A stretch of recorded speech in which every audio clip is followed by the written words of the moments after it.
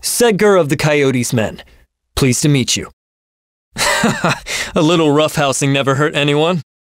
Believe it or not, I used to think Prince Marth was an entitled brat.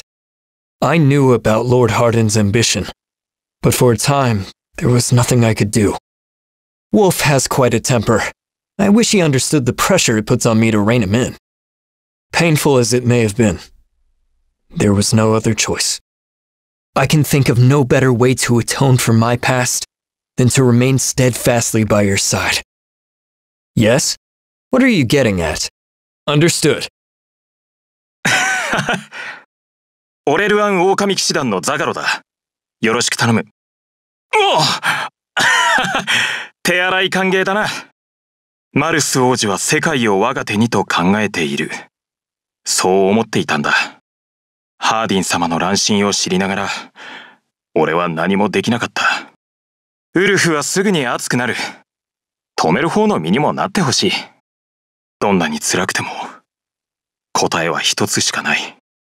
俺は償いをしなければならない。お前のもとで、それができるなら。あ、どういうことだ？わかった。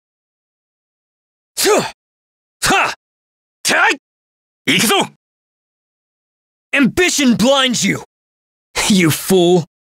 Look at yourself! Charge! 野心に取りつかれたか貴様ら道を正す共にかけようあカイオリ。いかんハーディン様。